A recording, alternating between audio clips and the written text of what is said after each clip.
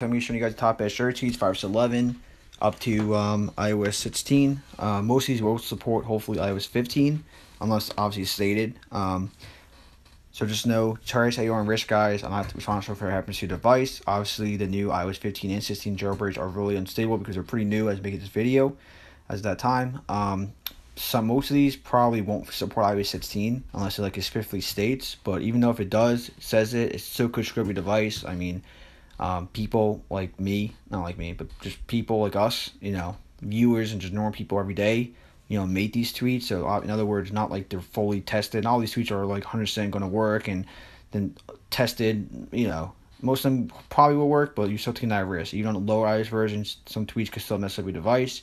Um, so whenever you're doing jailbreaking, always doing your backup. Don't ever do on like a main device.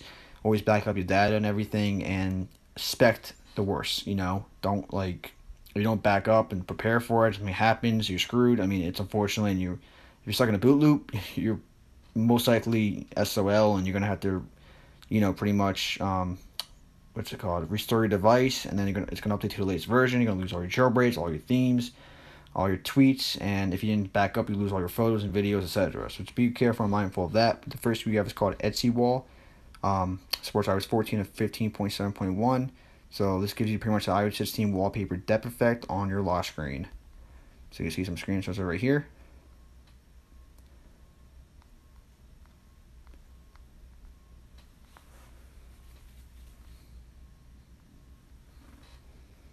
Where it's an iPhone 6s and above, and you need at least iOS 14 and above. Um, it's not compatible with uh, iPads.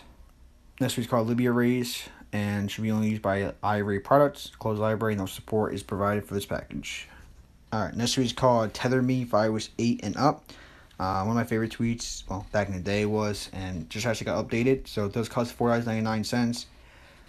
I was 8 and up, compatible with uh, Tether Me. It uh, enables the native tethering functionality of your device and gives you the option to share data from a VPN or share Wi-Fi connection to USB. Does not enable the instant hotspot functionality introduced in handoff in iOS 8.1. It also allows you to edit your APN settings.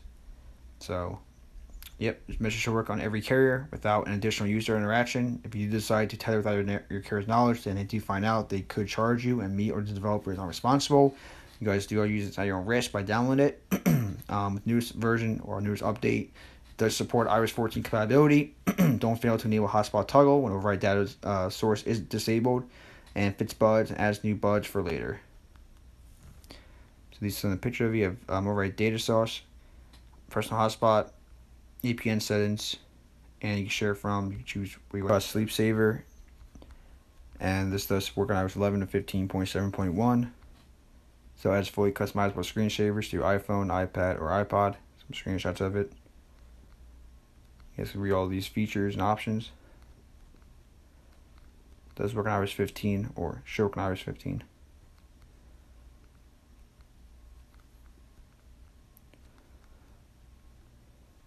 Alright, so this is called Call Log Pro. Um, it was actually one updated. It's actually um, version, uh, I think it's, yeah, 15.0 beta 1. And it's just that I was 15 to iOS 8.